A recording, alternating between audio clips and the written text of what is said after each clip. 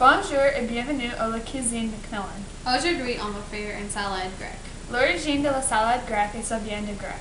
Dans la salade, on va mélanger de légumes frais avec un vinaigrette à l'huile, Aujourd'hui, tu as besoin d'un bol large avec les pinces, un couteau bien aiguisé une essoreuse à salade, et une planche à découper. Les ingrédients sont les épinards romains, Les poivrons, un oignon rouge, le fromage feta, un concombre des tomates, et le vinaigrette à l'huile grecque.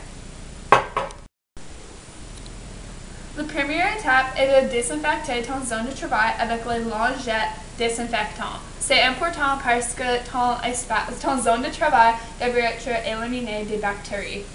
C'est plus important que tu aies beaucoup d'espace pour faire ton cuisine parce que tu es plus organisé.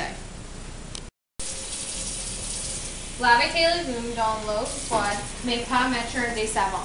C'est important d'enlever toutes les bactéries à l'extérieur de les légumes pour que quand tu coupes, ça ne les pas dans l'intérieur. Sèche les légumes avec une serviette pour réduire la chance de les bactéries encore. Répète cette étape pour chaque légume. Place les épinards romains dans un grand bol. Troisième étape est tes poivrons. Euh, premièrement, tu dois couper le endigué. Et après, tu enlèves les graines parce que si tu laisses dans ton poivron, ça va être très épice. Troisième partie est de couper en un demi. Puis, tu coupes dans les petites tranches comme ceci, comme ça. Puis, couper chaque tranche dans les petites parties comme ceci. Quatrième étape, après tu coupes ton poivron, tu as besoin de laver ton plancher à découper et placer ton concombre. Tu peux euh, commencer à en- en- enlever la pelure ou tu peux couper en petites tranches comme moi ou faire en demi ou en petites pièces. C'est optionnel. Étape, tu as besoin de répéter et laver ton planche à découper. Après, tu as besoin d'aller et chercher ton tomate. Le plus brillant la couleur est le plus bon pour toi. Aussi, quand c'est en bonne qualité, c'est un peu mou dans le centre, puis tu dois couper toutes tes tomates en demi. La deuxième étape est de couper les oignons rouges.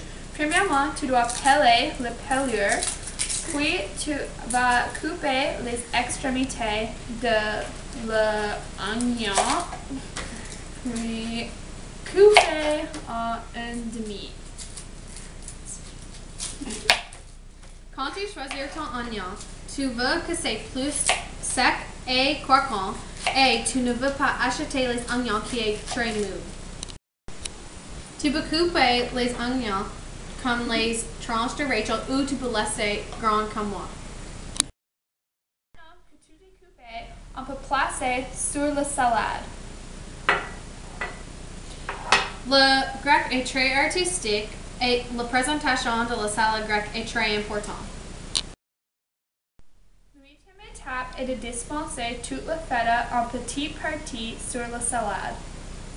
Cet fromage est un fro- fromage âgé et ça vient de lait de mouton et de chèvre. Cet fromage vient de Grèce.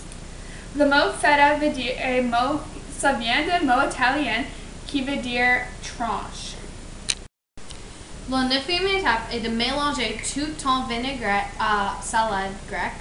Puis tu vas placer sur la salade, mais ne place pas beaucoup parce que tu veux pas que ton salade est très à l'huile. Voici le produit final. Et après, tu vas mélanger toute ton salade. Maintenant que tu vas voir notre vidéo, tu peux voir que c'est vraiment facile et vite de faire une salade grecque à la main. Après tu es fini de manger ton salade, lave tes vaisselles dans l'eau chaude et le savonneuse. for pour Day Metro vidéo.